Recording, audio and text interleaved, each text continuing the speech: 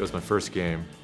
Uh, obviously pretty nervous. The Rangers' first round draft pick of two years ago, Marc Staal, is making his NHL debut.